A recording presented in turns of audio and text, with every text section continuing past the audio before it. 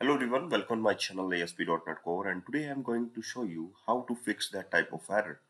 Actually when we click on the add to cart button, the detail will be uh, like that and uh, that type of error will be occurred like an unhandled exception occurred while processing the request. SQL exception, SQL exception you can say, cannot insert explicit value for identity column in table cards when identity insert is set to off. So you can see that in the inner side, uh, the um, uh, exception that is Microsoft.data.sql error, SQL exception, exception, bool break connection, action, uh, wrap close in action. And DB update exception is also occurred. An error occurred while saving the entity uh, changes. See the inner exception for details like that. Uh, this is the uh, actually related to your identity columns of the card. So first of all, check your, uh, you can say, uh, this is your connection in the web settings where your you can see your database name that is online fast food. In the SQL Server Object Explorer, just go for the SQL Server Object Explorer and you can see that your database online fast food so here we have online fast food. Where is online fast food? Online fast food. Okay. Now check the uh, table schema first of all. And which column is identity column of related to your cards? There is there we have a cards table. And you can just open view in the designer. Wait for some times. It will run uh, it will open in the designer window and your problem will be resolved after, after a few seconds. Just in the few seconds.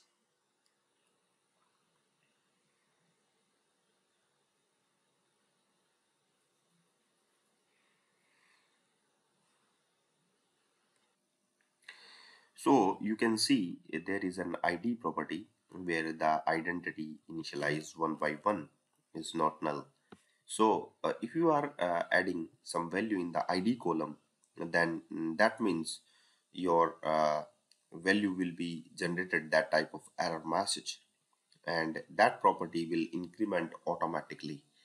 Okay, so uh, you can say that it's not an uh, it's an identity that is incremented by one uh, and one by one. Okay, so if you uh, can see the uh, categories, you can say that a view in the designer.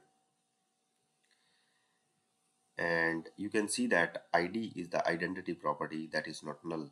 So uh, here you can see that uh, that is the ID property that is automatically incremented by one. And here we can say that the card ID is the automatically incremented by one. So when uh, just open your home controller and you can see that the ID property of your cards will be updated by 1 and you can see that uh, in the card just again we just started it again. And you will see that your card of the ID is uh, initialized. So that type of uh, things will be happened with your code. So just wait for some times and this there is and add to cart. So here we have. And check the cart uh, things first of all. And you will see that id is the one. So id is not one right here because uh, in the cart uh, in the cart table ids why why we use id as a one? Id is zero initialized right here. Okay? So uh, so you can see that id is right here one. So uh, cart from db is null because id is uh, not determined. So if it is id is null then uh, then you can insert the card detail but id right here is the one. So just go for your detail section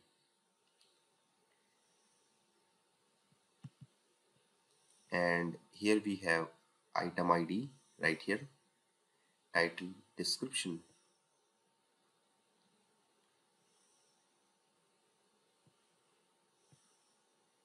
And the count okay so everything is right.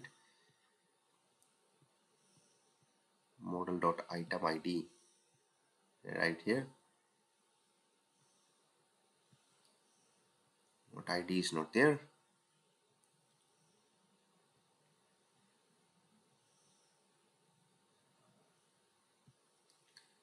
So id is initialized with the one. Application user id is like that.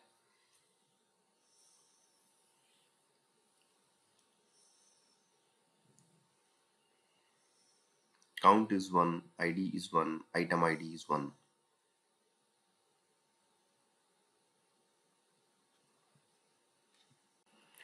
so first of all you can make some changes. First of all stop debugging and uh, you can just add cart.id uh, cart.id is 0 first of all.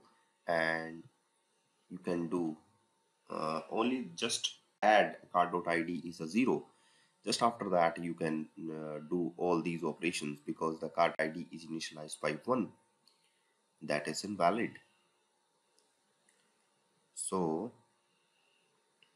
here you can see the output right here.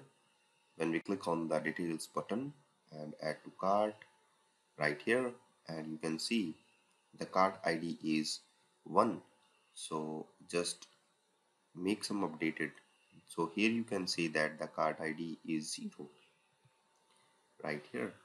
And you will see that your problem will be resolved easily. You're here your problem will be resolved so thank you guys for watching this video and keep watching all other videos which is related to ASP.NET Core